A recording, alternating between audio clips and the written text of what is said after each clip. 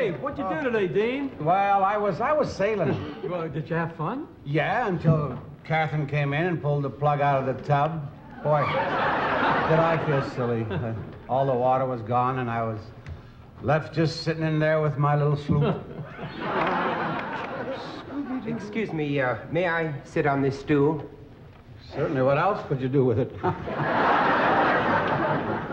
My name is Galacto. That's a strange name. Where, where are you from? Well, I am from the planet Ellipton. I am a visitor from outer space.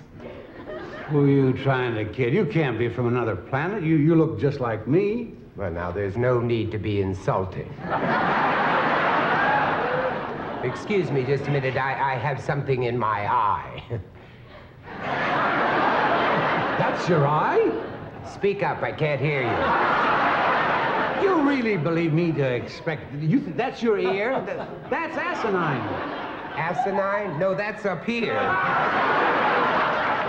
Hey, you, you're, you're really weird. You tell me, what, what are the women like uh, on your planet? Well, you should know you're looking at one.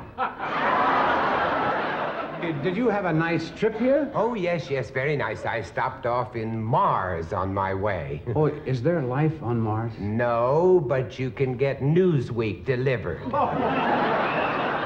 What made you come to Earth anyway? Well, I want to take back a specimen.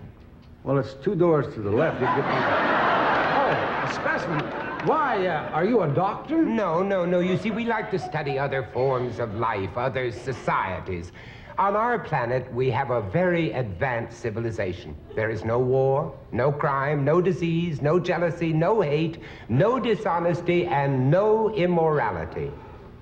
Gosh, what's it like living there? Dull as hell. I'll see you